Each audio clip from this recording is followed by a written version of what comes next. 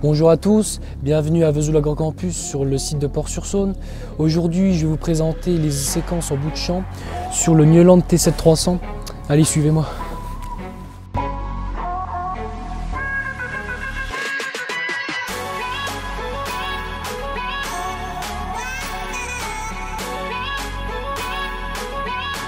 Donc là, nous nous retrouvons dans la cabine Horizon Ultra du T7 300 octocommande avec son accoudoir le Sidewinder.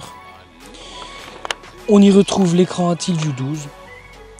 Donc là, pour les explications, nous avons les prises de force avant et arrière, puis la gestion du régime moteur, les 5 distributeurs et ensuite les différents boutons pour paramétrer le relevage.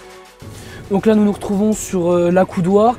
Donc là, je vais vous expliquer euh, comment fonctionnent les séquences en bout de champ. Donc là, nous sommes sur euh, le menu d'accueil du tracteur. Donc pour accéder au menu, j'ai un bouton raccourci qui se situe ici, donc j'appuie. Il va m'emmener directement à l'HTS2, donc voilà, j'y suis. Donc au préalable, pour, il faut rentrer un outil dans le tracteur. Donc moi, j'en ai rentré un. Pour, donc faut savoir que là, je choisis de faire la séquence, euh, l'outil est déjà en train de travailler, donc on peut le voir, j'ai mon, mon, régime moteur qui est activé. Donc pour euh, commencer l'enregistrement, j'appuie sur euh, le, bouton ici, donc là ça m'a mis, je peux enregistrer. Donc je choisis, je vais choisir de lever mon, relevage avant,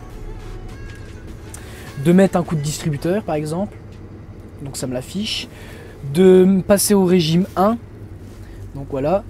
Et ensuite là je suis à la moitié de mon demi-tour, donc je fais une pause et après, bah, je, remets mon régime 2. Voilà. Je remets un coup de distributeur. Et puis là, je peux, comment, je peux retravailler. Donc après, bah, je, finis mon enregistrement. Voilà. Donc ensuite, après, pour le lire, simplement, bah, soit j'appuie sous le bouton de la manette, ou soit bah, je peux faire une lecture là. Donc si j'appuie sous le bouton de la manette. Donc après, pour le mode lecture, j'appuie sous le bouton euh, que j'avais appuyé précédemment pour le raccourci. Donc j'appuie une fois ça clignote. Ça veut dire que là, je peux passer en mode lecture. Donc là, je vais laisser sur l'écran. Donc bah, du coup, j'appuie sur euh, le bouton de ma manette. Donc là, ça lance. Donc je vois, bon, j'ai un temps. Donc là, ça met un coup de distributeur. Ça me met mon régime.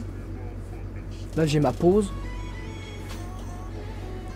Et là, ensuite, il faut que je rappuie une deuxième fois vu que on a dit que j'avais fait une pause au milieu. Donc je rappuie, ça me relance.